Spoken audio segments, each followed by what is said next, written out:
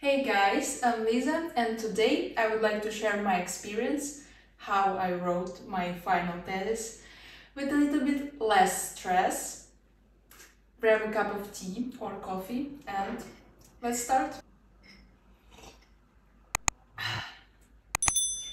Now we can start. Briefly about myself and uh, the university I'm studying. I studied in University of Economics in Prague, Faculty of Informatics and Statistics. And topic I choose, the name I don't remember, sorry. Analysis of mobile social media applications, trends and developments. This is the topic. I wrote it in Czech language. Maybe it sounds a little bit strange in English, but whatever. Let's start with the first tip. Better to start early, but let's be real. I guess I started just in time. In other case, I wouldn't make it. If you're gonna start as early as possible, it will help you and you won't be in a hurry last few days. Because also, for example, as I told you, I wrote my final thesis in Czech language and for example, this is not my mother tongue and um, you need to be sure that you wrote it right. In my case, I just finished my thesis the week before the deadline and I sent it to the teacher for the control. Also, I sent it to the grammar check because I was sure I have a lot of mistakes there and it took me I guess three days. So it's better to finish your work in advance like week before because most of the time the grammar check they're working only on working days. And uh, yeah you won't be in a hurry. Just think about your dates. We are moving to the next tip deadline plan. And this is actually the easiest thing you can do, but also that helped me so much. Because uh, when I started to write my thesis, I also started to use the Google Calendar more. And I just planned little things so I can see results. Because when you are working alone on something, like for example your thesis, you don't feel that you do anything and also like nobody pushing you to do something sometimes yeah you can have a teacher who gonna ask you that if you did something or not but most of the time you're doing it by yourself. And you need to plan what to do and how to do this. And for example i just planned even sometimes uh, to write the paragraph and I just added it to the calendar because like I had no motivation so I had to push myself and this deadline plan you can see the whole picture of your work your final date which gonna motivate you so much as I told you sometimes it's difficult even to start and now we're moving to the next point, use templates.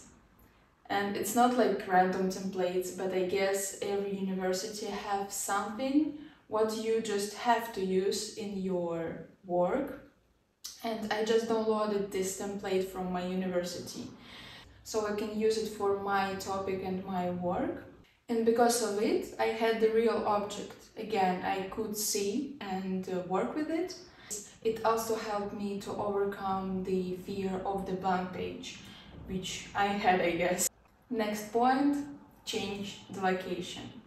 Because sometimes you're working at home, you're working on it at university. And all the time, I don't feel productive somewhere anymore, I just move somewhere else next time. And the most productive I was in the library of my university and in National uh, Library of Technology in Prague. If you're also in Prague, as I am, you can find many cool places to study in. There's a lot of cool libraries or cafes. You'll definitely find something you're gonna like. We're gonna move to the next point, consultations with the teacher. In my university, every student who gonna write the final thesis, they have a teacher. You have someone who will lead you and also somehow push you to do something. It's up to you to decide if you would like to chat through the Teams or whatever you have, or just come to university for the consultations. But my advice, it's not about your comfort now. It's better to try everything and just see what works for you better because sometimes yeah that's comfy to sit at home and just chat on laptop maybe your teacher don't really answer that often.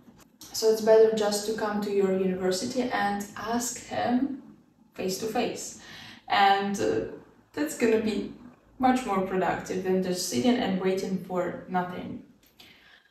And i mostly just came to university talked to him got all the answers or got new questions and new things I have to do for the next meeting and it's also it makes you one more deadline. You have to finish something for this date so you can show something. Use it please guys because this really helps and you remember right that the teacher approves the work to be sent. Discuss some mistakes you can make possibly that's much easier when you're gonna discuss them so you're gonna move forward faster. And now i would like to tell you about special topics. And the first one that's sport. Yeah you can tell me like liza what you are talking about but we are also here to talk about our mental health about our physical health. You're sitting a lot. You're writing a lot right? And you need to move a little bit, just a little bit. You don't need to be a sport guru and do workouts every day. I did workouts every time I had exams, and uh, when I felt stressed, it always helped me to release the stress because it works with our hormones and it helps even better to digest that's important, guys, because you know what we are eating while exams, right? We are eating the best food ever. My workouts mostly not longer than one hour and even more often like around 10 minutes only three times a week i guess that's that's good but sometimes i can do it even more often because I just enjoy it and I can feel this difference before workout and after workout. But guys, important thing, don't push yourself if you hate something. Just better to decide to do maybe easier workout or maybe just change the sport you would like to do. For example, like if you don't like running, just better not to run. Just go to the swimming pool or just go to um, do some yoga, volleyball, football, whatever. Just decide what you prefer and don't push yourself because we are pushing ourselves to do the work, the final that is, and that's enough for now. Next point music. I guess most of us now love listening to music and we are enjoying it. And this also can help us to work productively. I know that sometimes that's difficult to sit in a quiet room and stay focused for a long time, but even more difficult it can be in a crowded, loud space. And music can help us to reduce this sound so we can enjoy more the process and just be a little bit more motivated. Everybody here for it, right? You can just find uh, some playlists right on YouTube, like playlist for studying, or um, even on Spotify, I guess you can find some. Sometimes even I listen to my favorite playlists on Spotify and it was good because like it just I don't know powered me a little bit. So I had energy for the work.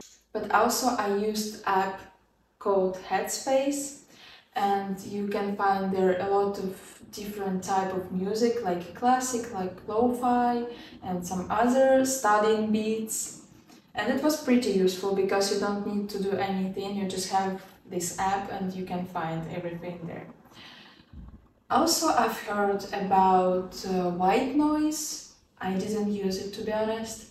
And the sound of the nature. It also can help you to focus more. So try it. Uh, if you don't like music maybe this type of audio gonna help you. Meditations. I'm not talking about sitting 30 minutes straight and just doing nothing and thinking about nothing but sometimes just one minute when you can stop relax like lay down maybe or sit comfortably and just don't think about your work because yeah, that's difficult sometimes to refocus on something and sometimes you just don't know what to do anymore and you're stuck. And in that case, you just need to stop for a while. You also can just go for a walk, better in nature, or also again with the music. I did this one minute technique where you just breathe in a circle in four steps. You just inhale, hold it, exhale, hold it, and again. And this is easy, and this is also helps you to calm down and just relax a little bit. If you like the meditations, for sure you can sit for a long time, but I can't. That's why actually I use this technique and it helped me. For meditations also, the same app as for the music, that's Headspace. There's a lot of meditations just right for studying or for other topics and that's also a good thing, I guess. You can check out this app. It's not sponsored, by the way, just I use it. and other techniques I used. I love the app Study Bunny. because there's a little bunny and he's sad when you are not studying. He's just literally crying. the app just keeps track of time and in some cases I guess it can even block your phone for this amount of time like for example you would like to study for 20 minutes you just choose 20 minutes and you can study straight 20 minutes because you can't use your phone and also you don't want the rabbit to be sad, right? but also there is some other similar apps and you can choose which one you prefer because like all with different type of animation or um, I don't know like some other functions maybe but I used only Study Bunny and also I used Forest app where you grow in the trees and I guess you can grow the real tree. But study bunny, I'm fan of it. Also, I think you know about Pomodoro and um, oh, and live translations of people who are also studying because sometimes you don't have a partner or it can be unproductive to study with someone so these live sessions. They kinda help you to focus more because you can't chat with this person, you can't be interrupted by this person, so you're just studying and you see someone also studying with you. And it can help. So check out live streams on YouTube or on Twitch. Maybe it's gonna help you also. And last but not least, and so important to be honest, use your power. What I mean by this? For example, you're working somewhere already and you can write your topic close to your work subject. You had a nice case from work You can use this case in your final thesis if, if you have a permission. Or also by this I mean if you can speak other languages. Like as I told you, I wrote my final thesis in Czech. I can speak English, but also I can speak Russian. So I searched information not only in Czech and English for sure because most of the information you can find in English, but also in Russian. Search for similar works in other universities in other countries. If you know some other languages, that's gonna be so easy and really useful because in that case you don't have to do the same work. You can just check out what they did already and you can study the list of references they used in their thesis. It will help you a lot because you can not just copy paste something but use the primary source and maybe even find something more interesting. You can find a lot of new sources you can use in your work and it will be a little bit easier because when you are searching from nowhere dude you don't want to do this I hope it will help you and I hope you enjoyed these few minutes with me don't forget to subscribe. Let me know if you have any tips for the others. Let's have a little chat because I guess this topic that's important kinda. have a beautiful day. Cheers. And you can do this. You can do this. Just do this.